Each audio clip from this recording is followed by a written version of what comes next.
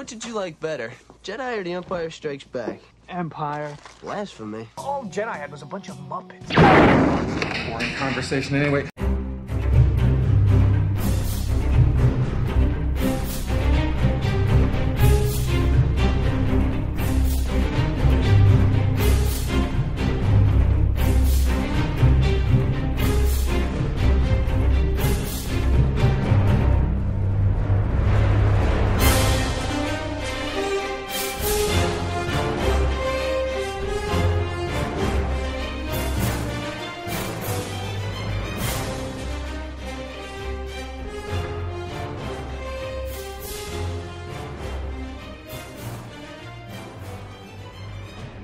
Hey, Stars fans, and welcome to Boring Conversation Anyway. I'm your host, Chris, and as always, I'm joined by my two good friends, Thor and Brian. Oh, I went in a different way there. Thor, how you doing? Good. All right, Brian, how are you doing? I'm great. It's great to be uh, second string to Thor again. That's okay. Feels it feels natural. Feels right. Feels right. Yeah, yeah Feels right for thing. Thor, that's for sure. Yeah. So, We're um, back at Toys R Us, where I was the king of the world. Oh my You god, you were my we go. manager at Toys R Us. Was that? You, we looked this up at Toys R Us. Oh, Jesus, we're immediately off on a tangent. You weren't my manager there. I was in my, I was my own department. Yeah, but I was like a. s- I, I don't know. I was still in charge of you, I think. I uh, Well, you ran the back of house, and you did returns at that point. uh what the store receiving specialist, whatever that means. Yeah, I'm going to say that fell. So he you fell under back of house, so Thor was in know ipso what my facto your job was. boss. Yeah, Brian doesn't want to talk about it now because yeah, I I was don't know. It just brings your up too many bad memories. I, I like to think I was mostly Melissa's boss in a way. Uh, I mean, don't tell Jerry this, but like I was kind of Jerry's boss too. I mean, just the height differential, and just the way God put things. I don't know. Oh, great. All right, we're talking about Bad Batch today, though. Oh, but before we dive in, so Ugh. there was a Hasbro Q and A that All went right, around. buddy. Get ready for a long diatribe about action figures you don't no, care it's about. just just real quick. it's just real quick. I thought it was funny. That's all. So somebody pointed out that the Luke Skywalker that shows up in Mandalorian season two. Sorry, spoiler, but if you listen to this podcast, too bad. And they pointed out that the Black Series one is correct, and the TVC one is wrong.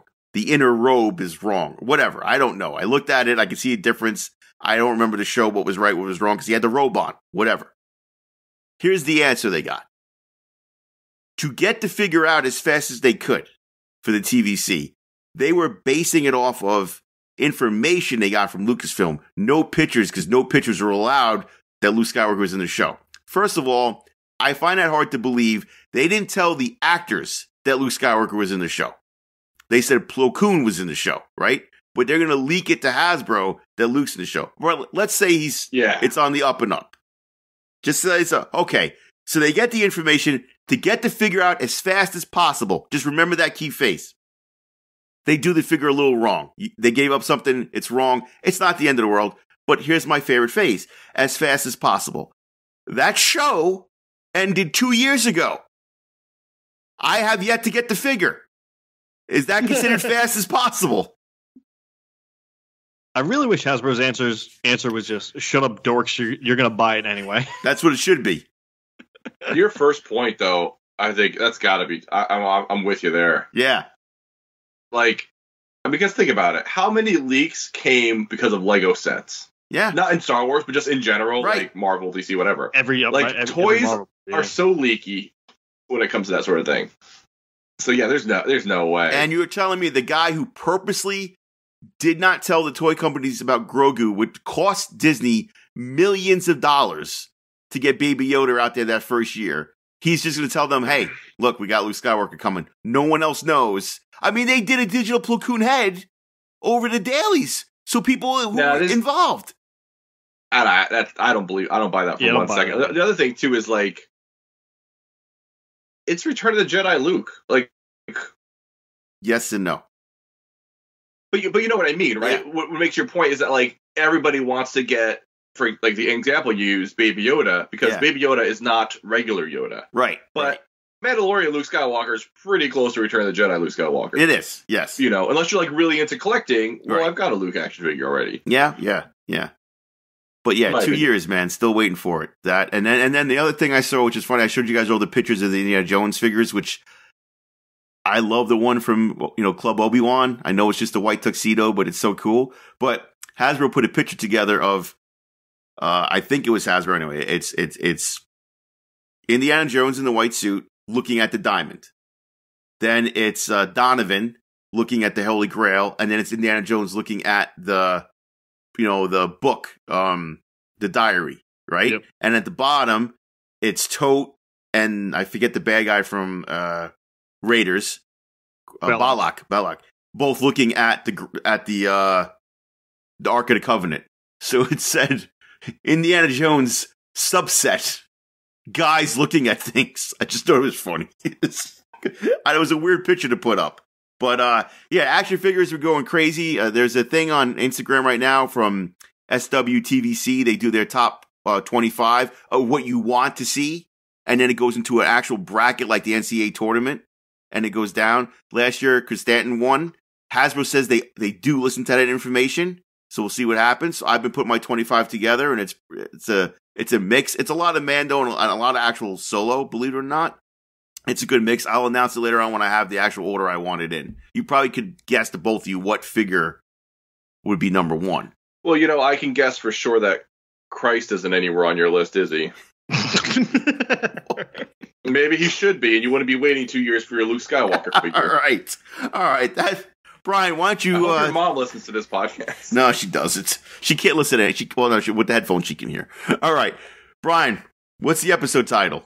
Well, hang on. Before we get into that, Oh, what do you it's got? Interesting to see the Hasbro is going all in on Nazi toy toys. Yes. So they're definitely going for a specific market these days. Good for them. Well, I'm excited that they're doing Indiana Jones. I am, right? I will pick and choose a couple of of the they call it's I think it's Adventure series or something like that. I don't know there's so many names because they did the kid line. Remember the Imaginext line that that Connor played with, you know, the DC and the Marvel guys, they're like that small.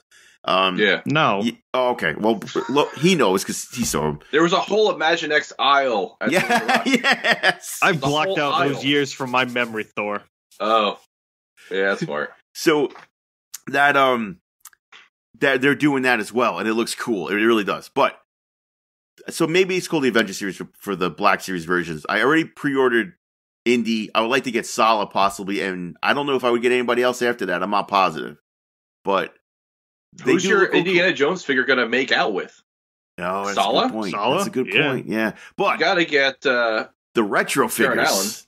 Now the retro figures are so cool because those are the figures I had as a kid, and I just found out today that one of the guys that works at uh, Hasbro, who used to be in charge of the Star Wars line, we miss him. Steve, I can't remember his last name. It was Yeah, I don't miss his actual figures that were scanned for the retro line, which I thought were pretty cool. So so they're the An exact figures. expensive re-release.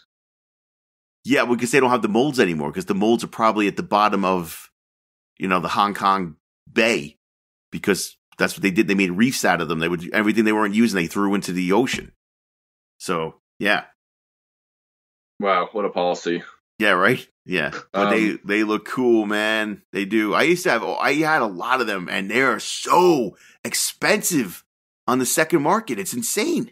Well, it's like think about not that this should be any any surprise, but I, I would I would I would gamble to say that I was as big of an Indiana Jones fan in my childhood as you were in yours. The difference being we grew up in, in a little bit different periods. Um, but I have you know I have so many Star Wars figures just of a different line. Right. But Indiana Jones, like nothing existed for me to get as a kid. no. I never had a single Mhm. Indiana Jones toy whip, toy hat. I'm not saying it didn't exist, but it just didn't. It wasn't around. And like any Indiana Jones that I was after, I- mean, there was books and things, but man, the '90s were just not a good time for Indiana Jones. 2008 with the the fourth movies when they came out with those figures and the problem with those figures is the paint the where whatever factory they used the paint was so bad collectors were like we're not we're not getting these and it was just uh, you know, so they they because of that, I know they're not going to do like a new line of t- modern Indiana Jones figures. They're going to stick with the retro and the Black Series. And You know what's another thing too? Now that I think about it, when you go into stores like um, you know, like Target has like what's pretty much like an adult collectible section, Yes, and, and stuff yeah. like that, right? And, and you see lots of cool, cheap but but cool things show up in those areas. Indiana Jones, the only place I know where you could buy an Indiana Jones action figure is the Disney store. Yes. Maybe not even the Disney store, Yeah, but but yeah. like the Disney parks that they they would sell them. That's Absolutely. the place I'd even see one. I mean, Connor was two in 2008 when that when that movie came out. I think it was 2008 when that movie came out. I'm pretty sure. But he Yeah, I had a think it was hat. He had the whip. The whip made noises. It was soft, so you can he could hit someone. It didn't matter. He had a jacket. He had the satchel. He loved playing Indiana Jones. And then he had, I guess, the first version of Imaginext Indiana Jones. Like like the second Imaginext can move. Batman can move his arms and legs. The first version was like they were just little guys and they didn't move. So, or, or no, that wasn't Imaginext. It was the Star Wars version of him. but that's a whole Galactic Heroes. That's a whole nother thing. But why we transition into Star Wars, let's transition into Bad Batch. You guys both Yes. saw the episode. What'd you guys think? What? Thor, go ahead. It was pretty good. It was interesting. It was just interesting. It was like um, it was reminiscent of the Clone Wars, only uh, particularly in the sense that just like the Bad Batch don't even show up, which I can't remember if that happened too often in the first season. I don't think. But the it Clone Wars, did. you would jump around, tell this story, Right. tell that story. Obviously, these stories are really linked, but it, was, it was cool. It was refreshing. I would Not that I needed a break three episodes in. Right, right. I think it's the best of the three. Uh, also, it was for kind of taken back. Wow, wow, the Bad Batch is not in this at all. But I guess if you want to say that Crosshair was part of the Bad Batch, so that's their window into this episode. Yeah. Uh, I thought the uh, obviously the art always looks great. The planet was really cool looking, and the story was great. And it really harkens back to the Clone Wars. With you got the dro- uh, droids walking around, stuff like that. Brian, what did you think? I liked it. I wasn't. I liked that it wasn't the Bad Batch doing like just another job for Cid. Like you could, we could tell different stories in this universe that are not related to Cid, which they did then the first season a little bit. They um, they what they sold guns to like Hera Syndulla's father. Yes. didn't they? Yes, and then that something. became a whole thing trying to help Harry get out of there and everything else. So that was the whole arc. I think that was a two episode arc. Yeah. I like it different. Yes. All right. So let's let's dive in. Uh, we we start off uh, at that planet. That planet name is uh, Desix. Desix. Yes, and I kind of looked like Mars, the way it was with the orange hue to it and everything like that. Kind of had that feel to it, and they there's people working and they're they're they're perfectly fine people doing their thing. And a shuttle come. I guess is that a shuttle? Is that a a clone shuttle? Because Yeah, I think I have one of those, but they didn't have the same kind of paint on it. Yeah. And if, we've seen that before. right, it's got a squadron of guys, not even a full squad. It's like maybe like six guys, six troopers, the TK troopers, and a governor who's coming in to replace the governor. And governor that's actually on the planet is Ames is her last name. Yeah, Tawni Ames. Yes. That's who's declared themselves governor of Desix. Right. And the, go ahead. Go ahead. She's not having it, so she just says, "We already said we're not part of this, so we're just going to hold, basically hold them hostage." That's what she does. That's the great plan is to hold them hostage because they have all these droids. somehow. Somehow they got him. Yeah, so Governor Groton goes there and says, "Oh yeah, we saw that you like wanted to declare independence, but no, you're not doing that. So we're going to run the planet for you." right. You know, And, uh, one of the yeah. things in, in- that comes in this in particular that was interesting, but I, I just don't know if I love it or not, is what a different character this person was, this imperial officer, because he was um, like, uh, he's just not the the arrogant, He's a coward. himself, and you know what I mean? Yeah. Like, and and I don't know. I just I, I had a hard time buying. Maybe, maybe I shouldn't, but buying that he would be in this position in the first place because just the way he was like, oh, your your quest was received and reviewed and denied. This is like uh, he was like too polite about everything. Yes. He ends up being pretty cold blooded, but but even so, I was like, they should have sent a tougher guy to, for this one. By the way, I wanted him to say denied, but he was going for the three R's. It was re- it was received. It was yes, your, your request was received, reviewed and rejected. rejected. Yeah. Yeah. So, but I thought he was like a little squirmy guy. But these are governors, and it gets weird because Tarkin's a governor, but then Tarkin's on. That. Do you want to talk about that? We, if you have a second, we could if you want, because he seems. Go ahead, or you don't want to talk Well, I about just it. don't. I just don't know what the term governor means. But I always thought Governor Tarkin was a term that he that was like, in a weird way, exclusive to him. Right. Like, um, uh, like like sort of a an honorary title, like th- that the Empire doesn't use the title of governors. Right? He's Grand Moff Tarkin. Right. Uh, I don't know where things lie nowadays with canon for that, but like you got to remember, Leia's the only person that I know of that that that calls him Governor Tarkin. I think You- so. You know, Yeah. it's like an, an older title that he had. Uh, that's the only thing that that I butt, butted up against. Her being the governor of this planet, sure, okay, but So- other people being used the word governor, I didn't understand. Right. So, okay, the, the the issue with it, and I don't know 100 percent anymore because canon changes a lot of what's in and what's out. Right. The Yeah. I think there was a Tarkin book, which Tarkin's book came out before Disney took over. I am pretty sure of that. I think it did, but I think it's I think it was the that that was the one book that was on the line Okay. where like I think if you buy that book, you'll see the Disney logo inside of it, but it was already Right. Right. I don't know. So, coming out of that, the governor title is the non military title.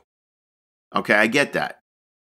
And Tarkin putting on that uniform was supposedly special because that's, I don't get the ins and outs of it. But now you have all the governors wearing the uniform. So then the governor now is a military title. Uh, It's very confusing. You see what I'm getting at? It's, that was their way in the book, which I believe because I was reading, um, I didn't read the whole book.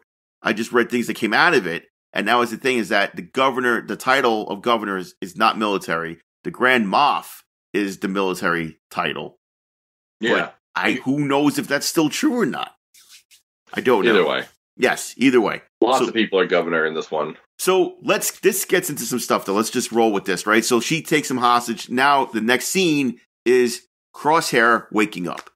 And it's like a day in the life of a clone, right? He wakes up, he goes and gets his breakfast, sits down. Before he can actually eat, he gets called into Rampart's um, office. But before he even gets up, the two clones that were sitting at the table with him, they leave as soon as he sits down. So people don't like this guy, right? Okay. Here's where it gets interesting. Rampart says, How long were you on? Well, where were they again? man? Kamino. Kamino, thank you. And he said 32 cycles. Well, 32 cycles is a day. So he was left by himself for 30 and survived 32 days in Kamino. And now he's, Well- what's that? That's an Earth Day, right? They base it kind of close to it anyway. It's like saying, Okay. it's also saying that, So- We're gonna get bogged down in a lot of lot of business, but I thought he was just referring to the amount of times on Kamino he saw the sunrise. But you're saying if there's That's what I cycles, think a cycle is a specific measurement of time in Star Wars that, regardless of what planet you're on, well, yeah, because that would be a rotation when you see the sun again. But you're right. So Kamino's day could be 30 hours instead of 24 hours. We don't know. But every time you see the sun is the rotation. So we'll just say, for argument's sake, it's 24 hours, right? So that's 32 days. How long Yeah. do you think it took him to recover from his injuries? what injuries? I, I or can't for being, I guess maybe being, he's probably lost a ton of weight because what was he eating? Stuff like Fish. that. His name's he can shoot fish like like nobody's business. What I'm trying to say is, this is his first mission since he's been back. Mhm. So when I thought that maybe it was a year and a half, a year to a year and a half from batch two to batch three, I'm sorry, batch season one to batch season two, it looks like it's a lot closer now. oh, I didn't even think about that. You're right though. Yeah. Is like that. That really. uh We're talking like maybe the max is we're talking is like two months now. I don't know. I think they Yeah. said there's a time difference of a year. Where? Like in like not in the show. You're talking about like the people running the show said it? Yeah, yeah. Because I didn't remember see reading that. somewhere. Well, I was at a panel, but I just can't remember anything they said. I, I was too busy being delighted by Bradley D. Baker's, you know, various voices he was using. did you wear Pay Jar Jar's attention. mask in the panel? Or you took him off for the panels. I had it on the whole time. The whole time. I like to think you Um, had it on and just showed like you didn't move at all and just had like zero emotion and didn't cheer and just stared at him. Because when I honestly, when I did have it on, I would have to hold Darlene, uh, the, the girl that was with me. I'd have to hold her arm like a blind person. 'cause I couldn't see anything. um, but Yes. it's it's just interesting though. I'm sure we could find that information, but but now it's harder to believe that like okay, so he was stuck for a month, and then he was let's say another month healing, and let's say another month after that, just red tape getting cleared or whatever the case may be. That's Right. only three months, Right. but I get maybe it was longer. I don't know. It's hard, hard, hard to say. That's what I'm trying to figure out. I mean, it's I, she looks older, the hair is different, but it, you know, kids age quickly at certain times too. You know, I can look at oh my man, sons from that one freaks time. me out. Yeah, yeah, You're at that age too. Like yeah. Like like like to use your kids as an example if i don't see uh if i don't see your youngest for two months i can noticeably tell how much taller he, he is Right, like that right. that you know it's a big difference It is. so I, I can I can buy that because i think that's the thing that we're looking at is just how much uh omega's grown up right. You know, and and but could be a growth spurt and she's a clone so who, who knows Rampart tells him like, you know, you were left to die, and you still came back to us because you're, you know, dedicated. And he's like, well, I'm I'm a soldier, and so he's like, I got a mission for you, and and he tells him you're gonna go ahead. Yes. Okay, so according to producer Jennifer Corbett, the official time jump is quote a couple months un- unquote. there it that is. doesn't help at all But that's, I mean, that's what we just said. well, all right. It makes more sense. So like, okay, let's say it was two months. It was that's what I said, months. right? Two months, a month for him to get. i think we gotta push it to three Well, a couple is Excuse two or me, a couple is two. I don't know what weird open relationship you're in. All right, yeah but a couple of couples is four months and she didn't specify what couple I understand the word to. couple. I'm a couple means my two, fist but when with your someone face in a said, minute. I think you could get away with three, two or three when someone says a couple. Can I get Okay, a couple explain of that to you. Ryan is right. Ryan is right, but if it was a few, it'd be three or more. Yeah. But she may have misspoke. I mean, what does she even know? Welcome to Star Wars and numbers. All right, it, it's right where we figured it would be anyway. So okay, we're you know, fine. most of our most of our podcast is us trying to figure out the time between different things in Star Wars. Wait, we could it dedicate. really is. We could do a full episode if we wanted to, because it would take us, and I'm not talking like 40 minutes, it'd probably be an hour and a half to figure out the timeline of Empire Strikes Back. Like from the day it starts to the day it ends, how long is that movie? Like how Uh, many days? Don't We even do it press- now. press Don't. on. All right. I'm with you though. Yeah. So he wants to send him on a mission, but he's not healed enough to be the commander, so he's working with Commander Cody. Mhm. And I thought what was, was really cool is that when he's waiting, you hear the guy say crosshair, and it sounds a lot like the way Hunter would deliver it. Did you notice that? Oh, they're clones. Well, yeah, but Dee Bradley does change it up a bit. So I kind of thought that was cool, and then we find out it's Cody. And Cody's giving him some information here that, you know, for, for us, right? About, hey, I, you know, you guys, I heard your team went rogue, you know, and, and Crosshair's like, what'd you expect him to do? And he goes, well, uh, and then Crosshair says, some regs left too. They went rogue. And he goes, and then Cody's like, yeah, more and more people are questioning the order. And then Crosshair's just like, well, yeah, then they're traitors just like the Jedi. And Cody says the line that what's name says all the time, Crosshair, is that good soldiers follow orders, right? And boom, they're off on their mission. And they fly into the planet. The people are not stupid. This governor, she's not stupid. She knows that they're full of it by saying it was supposed to be a peaceful thing, and they shoot it down. It was really that was pretty cool how they did it and everything like that. They shoot him down. A bunch of clones are dead or hurt, and they got a small squad left. And then the next 15 minutes is Clone Wars craziness of them running around shooting droids. The shot that Crosshair takes, where he lines up the shot to get it into the tank, that was pretty cool. That feels like a gross oversight by whoever made those tanks. Well, they're not expecting anybody to shoot into it, right? No, but cool. There's always stray bullets or stray Right. lasers. I guess you also Want have to to take that chance? I guess you always Yeah. have to wait for the projector to be loaded in, the missile to be loaded into the tank, right? The shell. I mean, is it a shell? I'm assuming. Listen, Oh yeah, this is this is an Star army Wars. of Deep into fumbling this crap now. Gungans defeated these guys. They're not hard. This isn't great tech. No, and I, I love the fact that the guys knew right away that there was a you know um what do they call those droids that are in charge Destroyer or tactical droids? tactical droids, and they're like there has to be a tactical droid because these guys are moving in like what they call it like a grid pattern or something like that, and I was like, all right, that's cool. Yeah, the famous grid pattern. I don't know if that's what they. the I'm genius just saying. Sun Tzu's got a whole chapter about that. yeah, yeah. Everybody line up in a grid. They'll never see it coming. Pretty sure that's how they, They fought the Revolutionary War. Yeah. Yeah. It's more guerrilla style, but all right. So basically, that's what we got, right? It's like 15 minutes of them shooting people and, and trying to get to the spot where the governor is being held. And of course, he has to make this ridiculous shot where he gets Cody to throw the disc and he waits for it and he waits for it until he can see everything. And with one bullet, took out every guy that was in that room. sure, why Yeah. not? It looked cool. Yeah, I- I'm just not going to think that much about it. Is some of it like a little cartoony? Sure, but it's Star Wars and it is a cartoon. Right. And Yeah. like but and these are supposed to be guys that are like that's his one thing. Yes. Right? Right. We saw him he's- like he's not even Oh. commanding. We saw him be a chump when that robot had his arm around his throat, which I can't say I'd be in it. I'd probably just be pissing myself, but he didn't look he didn't look so awesome, right? It didn't didn't make him look Cody, any Cody. Yeah. No, no, Um, I wasn't upset about it. I actually thought it was one of the part of the one of the cooler parts of the show. it's just it's crazy.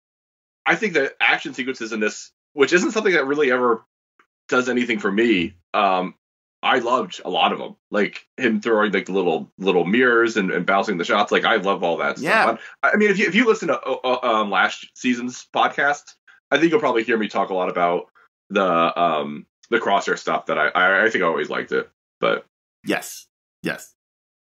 Um. Okay, so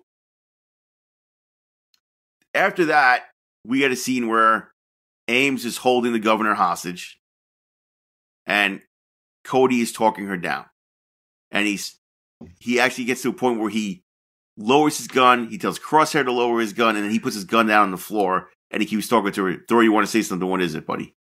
I have a lot of things to say. Okay. Um, Okay, but what about Star Wars? firstly, um, this butts up against something we'll talk more about, and we've talked about ever since. I mean, it's it's it's been an ongoing thing since, say, I don't know, the release of Revenge of the Sith. Like, my idea of what clo- of clones has just changed so much, I think so has Lucasfilms, right? Sure. So, like, you know, we've talked to death about inhibitor chips and how much I hated that idea. Um, and now I'm butting up against like all these clones with consciences you know, all of a sudden. But like, well, that would have been really helpful when you were slaughtering Jedi. I don't know. it, it, it, it's, a, it's a rough business for me, um, but it's it's evolving, and it- if it has to evolve because the stories are evolving, I'm okay with it too. But it is something that in this episode was just like that, especially uh, you know at the end of just being like, I don't know, clones just aren't exactly what I thought they were. Right, right. I, I think you could. I think what they're trying to tell you is that the inhibitor chip is failing as it's they're they're aging, and now they're sitting there going with, uh, "What did we do? do? Was that actually right? What we did?" Because they're starting to free think about it. Where for the actual thing, they didn't free think. As soon as they got the order, they committed the order. Where And- did their morals come from? Well, we spent seven seasons seeing how there were individual guys, even though they were clones. Right? Go ahead, Brian. I was about to say the Kaminoans probably made like the perfect soldier in the lab, but then you release that soldier out to experience the rest of the world, and they're going to start developing feelings and opinions. Right. You know. Definitely. Now, yeah, I think I think they're they're unique individual experiences that they're all going to have, even if they live in the same place, is going to start shaping their personalities more and more as they get older, for sure. And also, too, I just fundamentally what they did in the prequels wouldn't work. If every guy has a has a chip in his head, right? Then there needed to be a signal sent to every single guy. In that show, it's the Emperor comes up on a hologram and tells the commanders execute Order 66. Okay. So execute Order 66 is we're going to attack the Jedi. So did that commander say execute Order 66? Was that the code to make them go do it?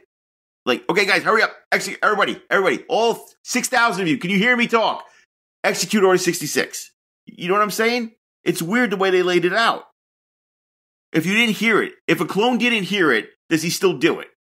I'm Well, I mean, you're you're making assumptions that like we saw a couple of clones receive that order, but they're not going to show us all 500,000 clones receive that order. But you That would a should. very We could take movie. Cody. We could take Cody as the example. He's receiving it with a bunch of guys around him who are doing different things, and they are not receiving it either. Could be in their headset.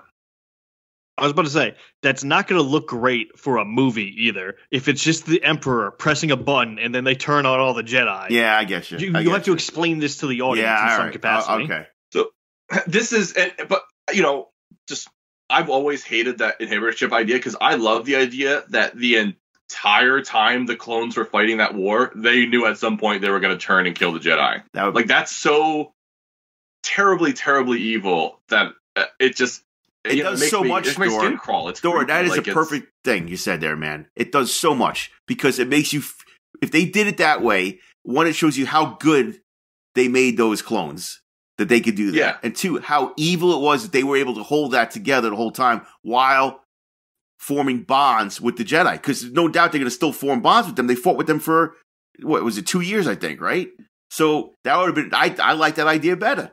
That makes It's it. like imagine if if we're doing this podcast and just one day, I don't know, I murder you, but but I'm still not convinced entire that's not going to happen. the, the entire time that we were doing the podcast, I was gonna murder you. Right. it's creepy. it is creepy. But um, what, what here's another thing. It's a little bit off. I'm gonna switch gears back into the Bad Batch, and, and just yes, just to just so we're clear, like these things evolving is okay because like without if it was the way I said it was, well, we wouldn't have any Clone Wars, we wouldn't have any Bad Batch, we, Right. you, you know what I mean? So so I I get why it why it evolves if it, if that has been the case. Here's my thing, and uh, you guys have seen The Sopranos. I know Campbell has. yes.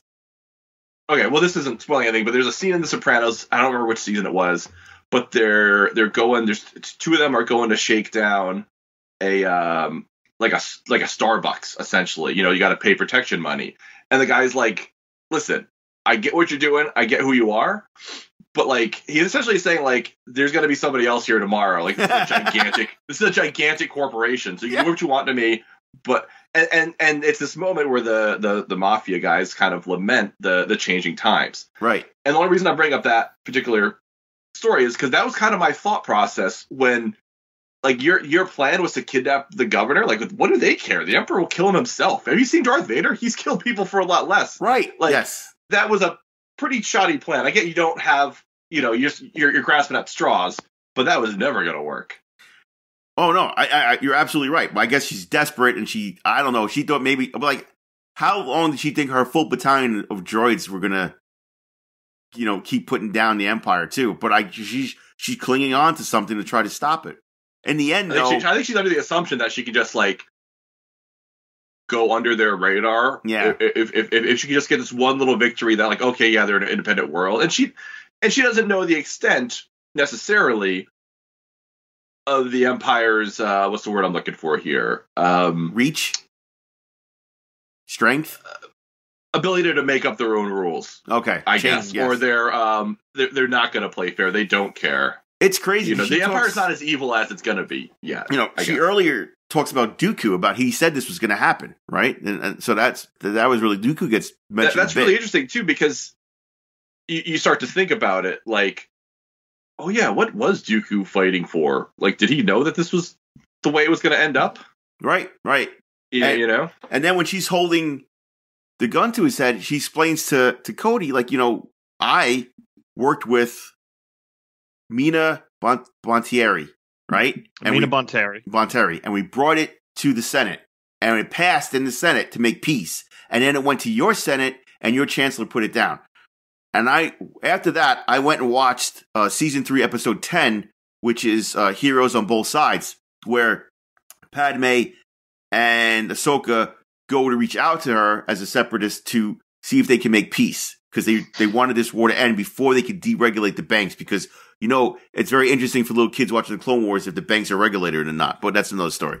So so, so they go and they get it done, but at the same time, Dooku knows this is. It's what's happening in his own Senate because he's in charge of that Senate. So he's like, we, you know, they got to, we got to do something to up this up, and they send droids in and blow up a bunch of generators on Coruscant.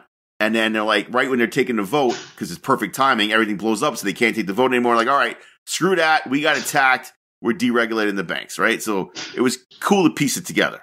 But yeah, so Yeah, I wouldn't call that the Emperor rejecting it though. Yes, yes, your chancellor rejecting it. No, yeah. Well, it's, a whole thing. But okay, so now that this the little the little swarmy governor is free, he tells Cody to execute her. And Cody's like, I promised her a peaceful, you know, thing here. I'm not going to do it. And he doesn't come out and say, I'm not going to do it because I promised her peace. He goes, You promised her, I didn't.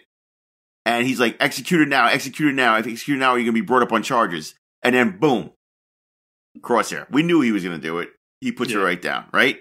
Now, does he say the same thing though? I think he does, right? Because I didn't get to finish it for my second time. Does he say good mm-hmm. soldiers follow orders?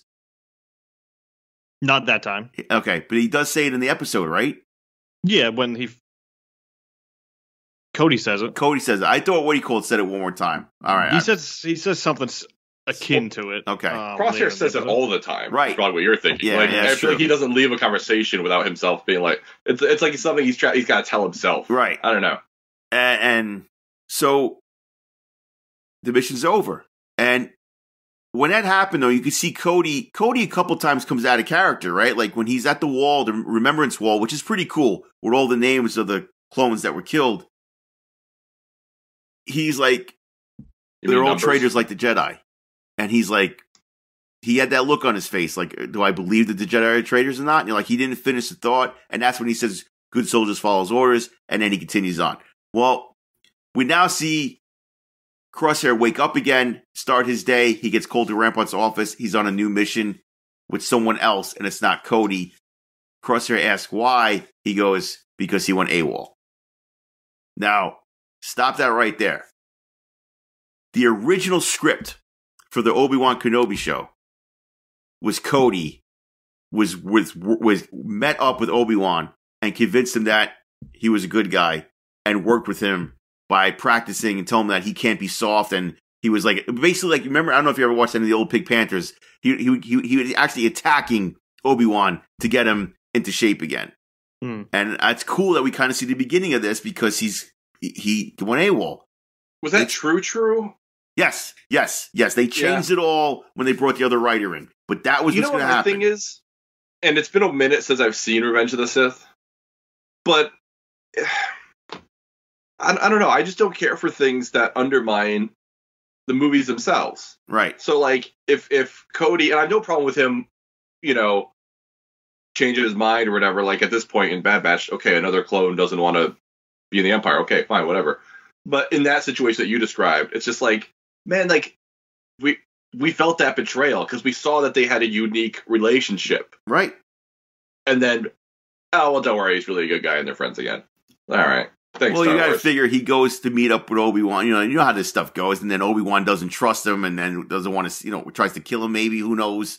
And then I get it, but I just like none of the story. Like, just don't undermine any of the three right, Star Wars or the six rather right, right. Star Wars movies. Nine, Might. maybe. Do you want? Um, Uh, six. I think I was right the first time. so, uh, I listen. If they do an Obi Wan season two, I could see Cody being in it. I can.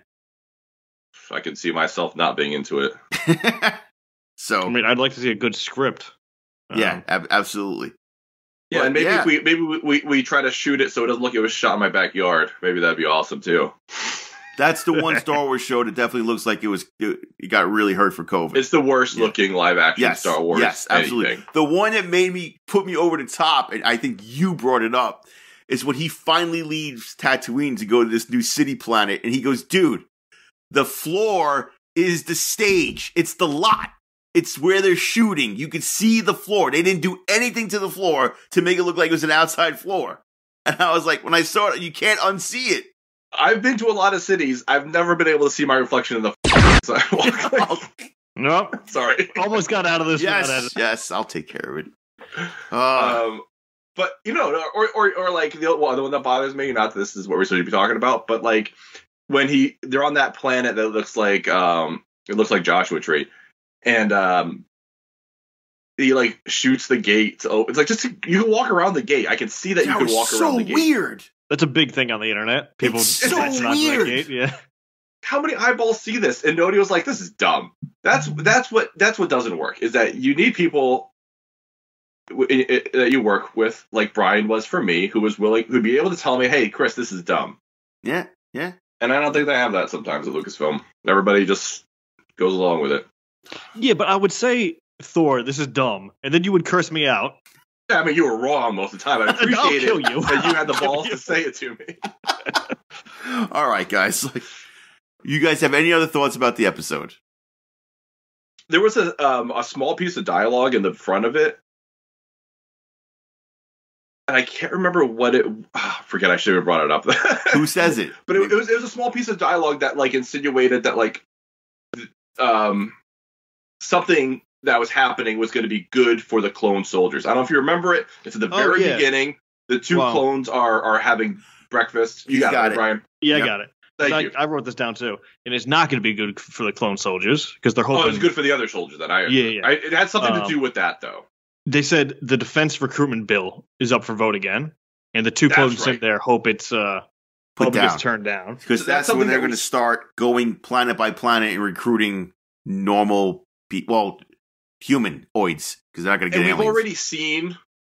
I think the first season of Bad Batch probably has done the most for seeing what it actually looks like to go from clones troopers to stormtroopers. yeah, Um, and, and this episode, we, we saw a little bit more of that. Another thing that happens is that I mean, we- we're seeing them go AWOL, and we're, we see, I think it's Rampart say like, you know, another clone's gone AWOL. This isn't really Yeah. looking good. Like so much for clone um, loyalty or whatever. right. Uh, so it's kind of interesting. That's I, I think that's one of the good things to come from this idea of the, the clones, you know, quitting.